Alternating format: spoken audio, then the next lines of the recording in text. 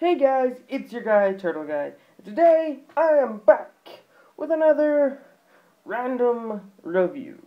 And today, I will be randomly reviewing a TV show. Oh wait, I did that last time, but anyway. Today, I will be reviewing Lucifer. Now, shout out to Cross Void Films because he actually kind of, well, he mentioned this film once, and not film, sorry, TV show. He mentioned it, saying it was pretty good. I think this was in around the time where it was cancelled. No, this was before it got cancelled, but anyway. He was on about the show, so I decided to go check it out. And it was definitely worth my while. And dare I say it's one of the shows where I love all the characters. Everyone in it was pretty good. The acting was amazing. The characters and this show didn't need that. Okay, there are bits with CGI, but let's give the overall premise of Lucifer.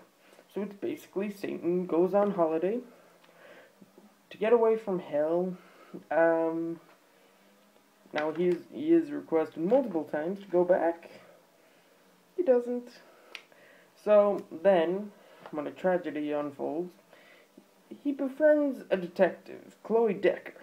Now, I really like Chloe Decker, and when I first saw the first episode, I'm like, this may be my favorite character. And as the episode, as the series went on, I got more and more characters I just loved. Even characters that come across as wanting you to hate them, I'm like, why do I like this character so much? The episodes were pretty good. There's no major plot.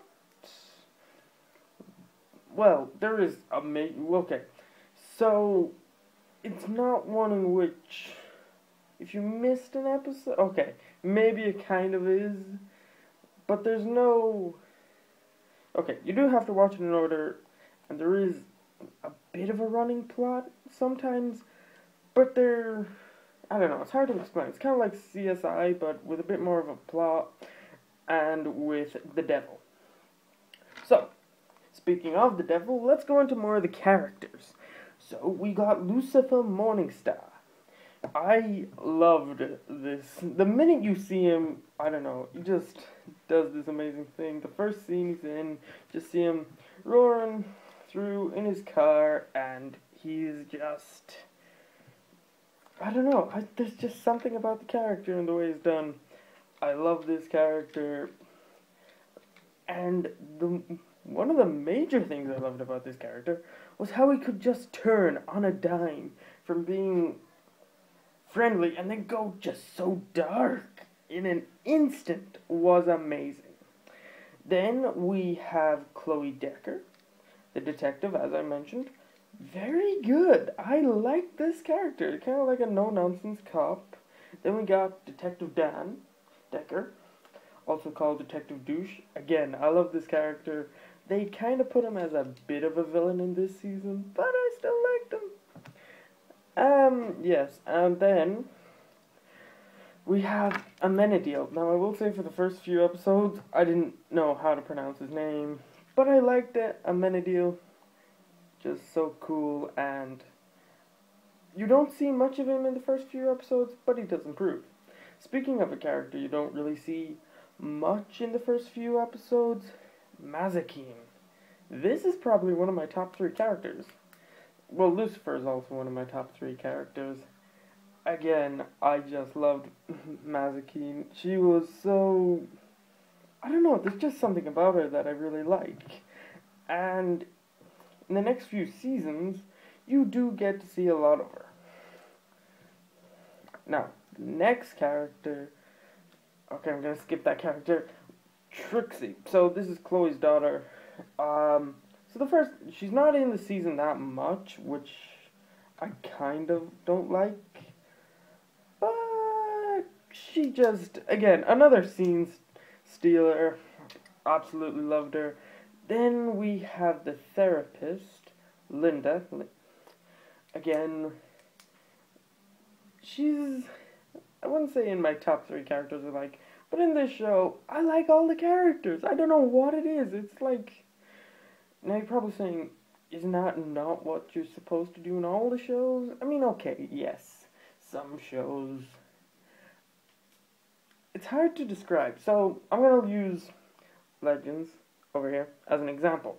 So in Legends, I like most of the characters, but there are certain there's a certain one I don't really like, or just a certain trait about a character I don't like. Now, that's a little teaser for my Legends random review. But anyway, in Lucifer, I just loved everything. The premise of the devil, just great.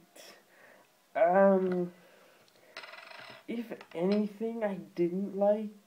Maybe the ending was a tad rushed. The last two episodes felt like they were trying so hard to rush something. Eh, and you kind of go, oh, that's a bit rushed. That doesn't seem that doesn't seem a bit realistic. That's the only thing. I don't. I think that's just the only thing I didn't like. Everything else was great. The acting was brilliant. CGI was. Say the CGI for certain things was a tad off. Like you kind of know this wouldn't have had a big CGI, but it was good. Now I will be reviewing Lucifer in the future. I've just finished season two, and I'm just gonna sit on it a while, think of a better review, maybe. Season two, just each season of this show improves in ways I can't even, in ways you can't even imagine. So, if you see Lucifer, you know, or if you want to check out a new show, you're like, eh, what am I gonna watch? I definitely give Lucifer a watch. It's not that dark as you can imagine. So, what did I give Lucifer? I give it a 9 out of 10. Why am I removing a, a spot? Well, I don't know. This first season was definitely a step in the right direction, and it does improve at times, but I don't know. There was certain things you kind of feel it does rush, in my opinion. Now, you're probably saying, ah, oh, what are you on about, Daryl? Yeah, you're crazy certain things it rushes, other things I don't know, some things maybe weren't a bit developed and some things were like, oh, they don't they don't have the CGI to do that. That's why we haven't seen it. But uh, in the next few seasons, well, not the next few seasons. There's only at the minute there are three seasons, but they have been renewed on Netflix. And yeah, it's definitely an interesting show. So yeah, this is Turtle Guy saying saying bye and just yeah, check out Lucifer. Great show. I would recommend. So this is your guy, Turtle Guy, saying bye guys.